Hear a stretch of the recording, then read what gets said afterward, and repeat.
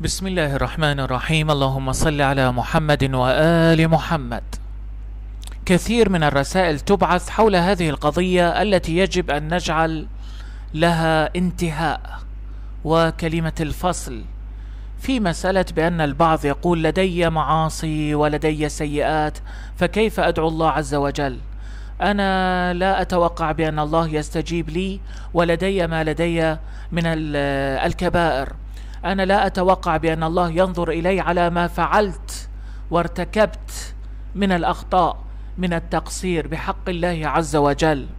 فيعيش حالة القنوط ويقول أنا غير متوقع بأن الله سبحانه وتعالى يستجيب لي فضلا من أن ينظر إلي.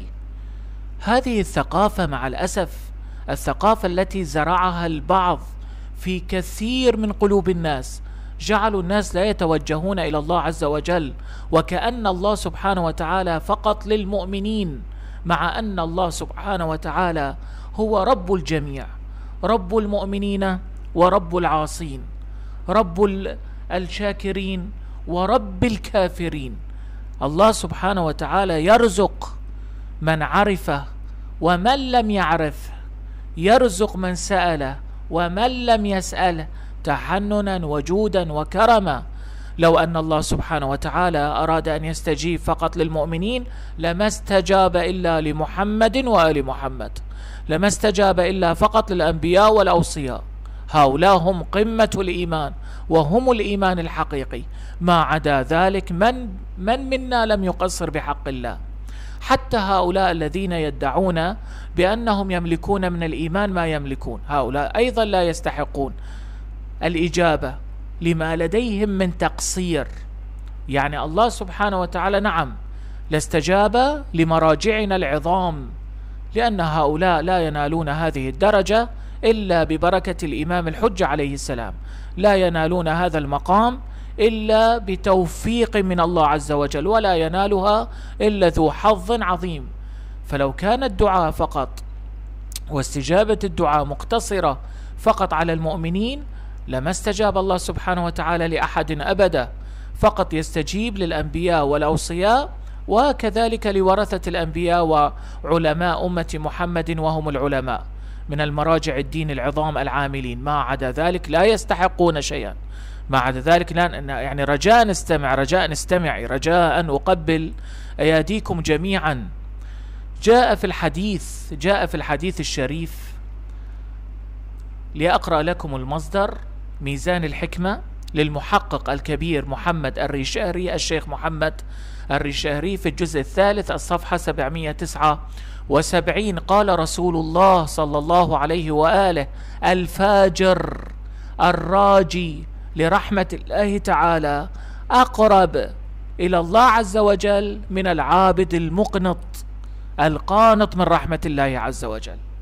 إنسان فاجر لديه سيئات لديه معاصي ولكن يقول أسأل الله سبحانه وتعالى أن يرحمني في يوم من الأيام. أسأل الله عز وجل أن يغفر لي أن يحسن من أخلاقي. هذا أقرب إلى الله سبحانه وتعالى من العابد القانط من رحمة الله عز وجل. يقول مهما أفعل فأنا إلى النار. مهما أفعل فمن المستحيل أن ينظر الله إلي. أنا المقصر وأنا المفرط وأنا وأنا طبعا نحن مقصرين. طبعا نحن مفرطين. كل ابن آدم خطاء ألا إن خير خطائين التوابون والمستغفرون؟ من قال بأنك يعني باستثناء من هذه القاعدة؟ الكل تحت هذه القاعدة. كل ابن آدم خطاء ألا إن خير الخطائين التوابون والمستغفرون. الله عز وجل أعلن ذلك صراحة لبني آدم. لم يجعل من العصمة إلا في الأنبياء لم يجعل من العصمة إلا في الأنبياء والأوصياء.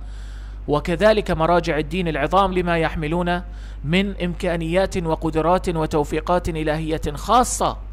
أما ما عدا ذلك فنحن كلنا نخطأ وكلنا نذنب ولكن الخير كل الخير من يستغفر من يرجع إلى الله من يحمل في قلبه رجاء رحمة الله عز وجل. النبي صلى الله عليه وآله يقول الفاجر الراجي لرحمة الله أقرب إلى الله عز وجل من العابد القانط من رحمة الله عز وجل. والإمام علي عليه السلام يحل هاتين هاتين المشكلتين التي يبعث إلينا الكثير من الأخوة والأخوات الرسائل حولها. إذا كنت أيها العزيز أيتها الكريمة آه، لديك ذنوب لديك معاصي يقول الإمام علي عليه السلام عجبت لمن يقنط من رحمة الله ومعه الاستغفار. أنت قانط من الإجابة. لماذا؟ تقول أنا الله ما يستجيب لي لدي الكثير من الذنوب والمعاصي. والله سبحانه وتعالى معرض عن الاستجابة لي. لأن أنا لدي ذنوب. لا تقنط من رحمة الله. عجبت. الإمام علي عليه السلام يتعجب. يستغرب. يقول لديك ذنوب؟ وإذا كان لديك ذنوب. لا. يعني لديك كذلك الممحات وهو الاستغفار.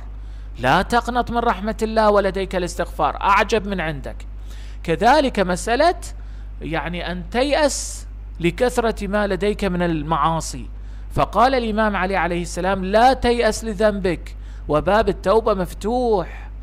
لو لو لم يكن هناك موجود استغفار ولو لم يكن هناك موجود باب للتوبة مفتوح نعم عليك أن تقنط وعليك أن تيأس من رحمة الله. لأنك تذنب ولا يوجد حل لنفي هذه الذنوب لمحو هذه الذنوب كي يستجيب الله سبحانه وتعالى لك بعد ذلك. ولكن لديك بابان مفتوحان على رحمة الله الاستغفار والتوبة الإمام علي عليه السلام يستغرب يقول لا تقنط ومعك الاستغفار لا تيأس وباب التوبة مفتوح. رجاء نستمع رجاء نستمعي. الله سبحانه وتعالى في الحديث القدسي أقرأ لكم المصدر. والمصدر هو موجود في كتاب البحار الجزء الأول صفحة 77 الحديث 211 رجاء نستمع في الحديث القدسي.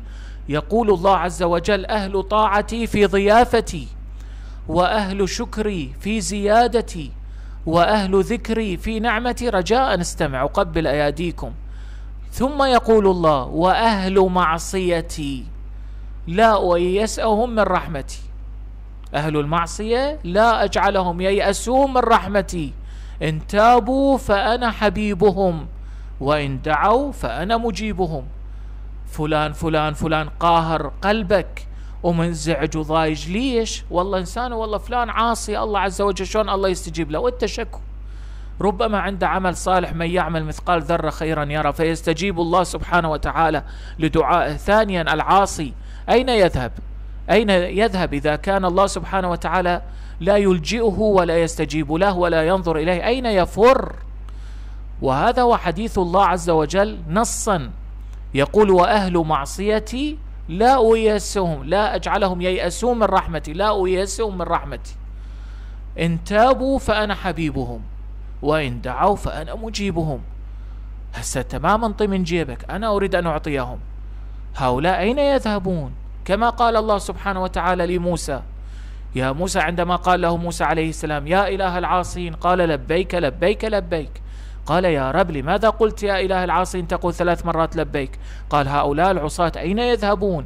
بل إن النبي صلى الله عليه وآله ادخر شفاعته لأهل الكبائر شفاعتي لأهل الكبائر من أمتي يوم القيامة فقالوا يا رسول الله والمؤمنون؟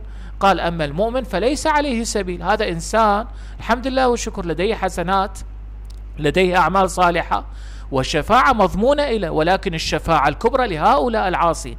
كلامنا لا يعني أبدا بأن الإنسان يتجرع على معصية الله بأن يغفل عن الاستغفار بأن لا يدخل إلى باب التوبة. كلامنا في مسألة القنوط. يا أخي لا تقنط إن القنوط من رحمة الله من الكبائر. من الكبائر من الكبائر عرفنا الآن؟